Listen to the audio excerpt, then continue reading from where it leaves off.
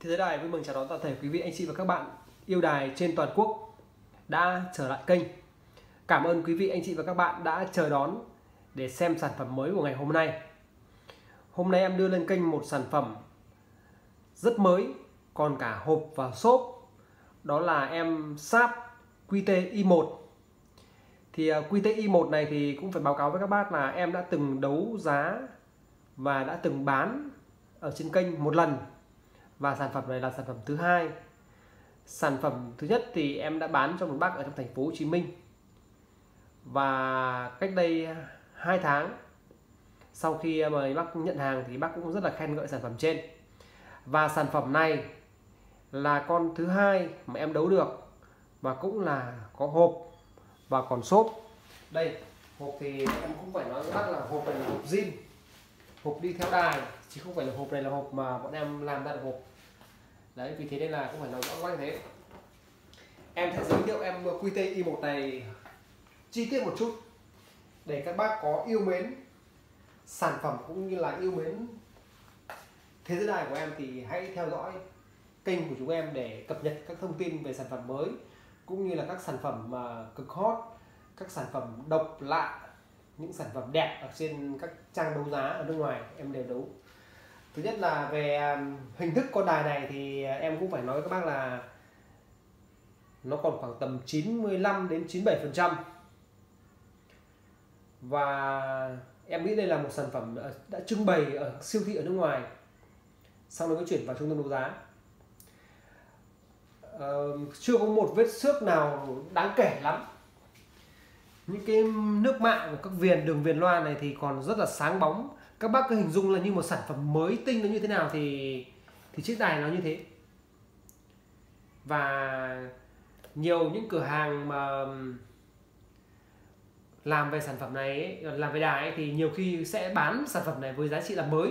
Nhưng mà em phải cũng phải nói chia sẻ thật với các bác là sản phẩm này nó không phải là hàng mới 100% vì thế em vẫn chỉ đánh giá nó là hàng cũ nhưng còn đẹp. 95 đến 97 phần trăm và hoạt động hoàn hảo các chức năng. Đấy, thì bây giờ này nhá. Bây giờ em sẽ bỏ xốp này ra và em cũng sẽ làm các động tác đo cũng như là test để các bác tham khảo. Xốp này của nó là xốp zin các bác nhá. Đấy. Xốp zin nhá. Chứ không phải là xốp làm được xốp này nhá đấy, ok lên cao cho ừ, góc độ quay camera nó sẽ tốt hơn. Em kéo anten lên để tí các bác có thể là test điều cho nó ok. Em sẽ ghim điện luôn. Và cũng phải nói với bác là đây là con này này lần là lần thứ hai ghim điện ở Việt Nam. Dây nguồn của nó là dây nguồn zin nhá các bác nhá dây nguồn zin 100% đi thân đài luôn. Sợi dây nguồn này em đảm bảo các bác là mua ở Việt Nam không bao giờ có luôn bởi vì tất cả các đài sáp ấy, nguồn của nó thì bao giờ nó cũng là vuông này. Đấy em sẽ cắm điện luôn để chuẩn bị công tác test đài phục vụ các bác. Con này à, sử dụng nguồn điện 100V và tất cả các chữ nghĩa của nó trên cái đài này nó đều bằng à, tiếng à, tiếng Nhật. Nên là các bác à, mua thì à, sẽ lưu ý. Cũng như ấy thì à, bắt bắt khách hàng này thì em cũng phải nói là à, sản phẩm này em đưa lên kênh nhưng mà sản phẩm này đã bán rồi. Bán cho một bác khách hàng ở Bắc Ninh. Bác này năm nay 65 tuổi. Đấy. Thì cũng uh, xin gửi đến bác video test này và để bác đối chiếu với sản phẩm sau khi nhận hàng. Và đây cũng là căn cứ để các bác có thể à, các bác mà đã từng mua đài của em có thể là khiếu nại nếu em giao sản phẩm không đúng chất lượng. Thì đây cũng là căn cứ để các bác có thể là đổi trả hàng và bên em cam kết là chỉ bán những sản phẩm zin, không bán hàng lỗi. Trên kênh thì em cũng không bao giờ bán hàng lỗi trên kênh. Và hoặc là những sản phẩm em thanh lý thì em cũng sẽ nói rõ, nhưng mà đa số là không lỗi, hoạt động hoàn hảo em mới bán trên kênh. Em sẽ đo kích thước chiếc đài này cho các bác để các bác có tham khảo thông tin. Còn à, để những sản phẩm, chờ đón những sản phẩm tiếp theo, còn sản phẩm này đã có người mua rồi. Chiếc đài này có chiều dài là 48 cm chiều cao của chiếc đài này là 20 cm tính cả quai chiều sâu của chiếc đài này là 11,5 cm cho nó 12 đi. Đấy cũng cùng chiếc đài các bác có nhìn thấy là viền loa này nước mạng của nó thì cực kỳ là mới. Rất mới. Đấy. Xước thì em nhìn thì chẳng có vết xước nào trên này. Rất đẹp. Tem này là tem zin của nó bác nhé tem zin từ khi xuất xưởng nhé và có một điều lưu ý nữa là các sản phẩm mà sản xuất 20 năm trở lại đây thì à, thương hiệu là của Nhật nhưng mà sản xuất ở một nước thứ ba. Và con đài này thì là sản xuất ở Hàn Quốc. Em quay lại để cho quay cái cái cái, cái tem cho các bác xem. Không biết các bác nhìn có rõ không? Bây giờ em sẽ zoom cái à, cái cái camera và chỉnh độ nét để các bác xem. Đây các bác xem là sản xuất tại Korea nhé đấy em không bao giờ giấu giếm sản phẩm của mình bởi vì uh, có thế nào thì em nói vậy. Sản phẩm có thế nào thì em bán vậy. Bởi vì nó thật các bác thông cảm là em cũng không làm được đài đài em phải đi mua.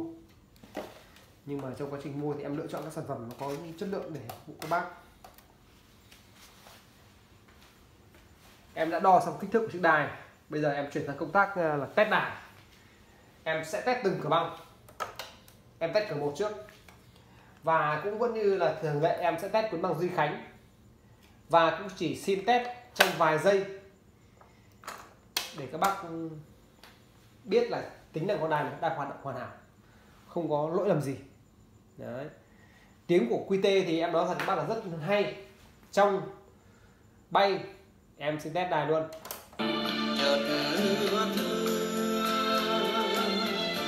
Tua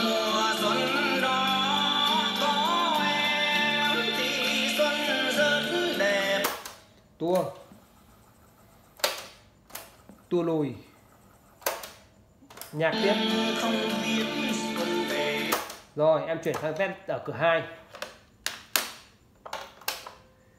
cửa 2 thì à, cho các bác nghe.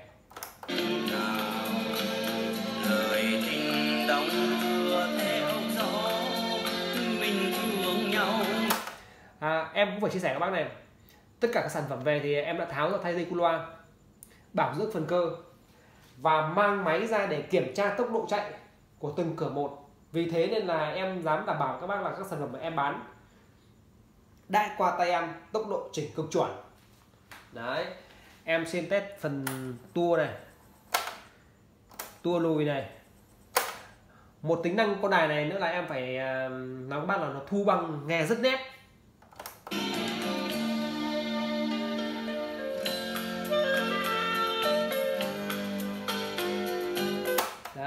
Thế như vậy là chức năng cassette của hai cửa băng hoạt động rất hoàn hảo. Em chuyển sang test chức năng radio của chiếc đài này.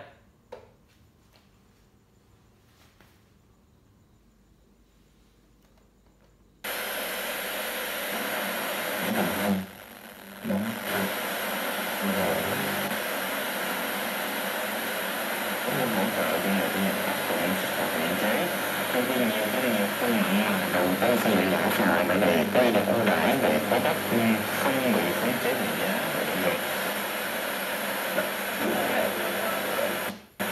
Ngoài lan tỏa cái thông điệp ý nghĩa từ môi trường tới cộng đồng thì mô hình ờ, thu gom rác thải ờ, có cái giá trị lợi ích xã hội như thế nào ạ?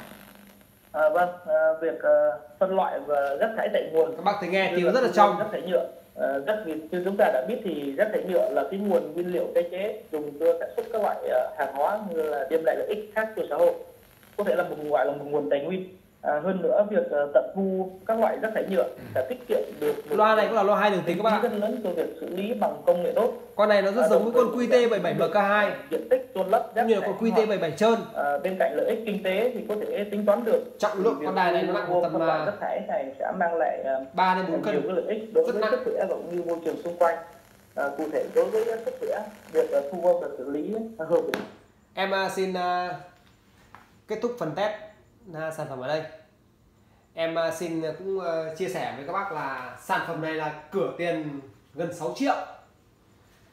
Và em cũng báo giá, thế để các bác sau này có nhu cầu tham khảo giá của sản phẩm này thì có thể căn cứ vào cái mức giá này để biết. Trước đây khoảng tầm 2 tháng thì em bán một cái nó rơi khoảng tầm hơn 7 triệu. Bởi vì sản phẩm giá thì nó tương ứng với việc của em đấu giá. Có thời điểm đấu được giá thấp thì em bài về bán thấp có thời điểm bán đấu được giá cao thì bắt buộc em về phải, phải, phải đấu giá cao. Bởi vì cũng như các bác biết thì buôn bán thì bọn em cũng phải có một chút lời. Sản phẩm này em cam kết nguyên zin chưa qua từng sửa chữa. Và em đã thay thế cu loa. Đấy. À, em à, xin à, kết thúc video tại đây. Hẹn gặp lại các bác ở các video tiếp theo. Một lần nữa kính chúc toàn thể các bác yêu đài trên toàn quốc nhiều sức khỏe. Em à, xin chân trọng cảm ơn.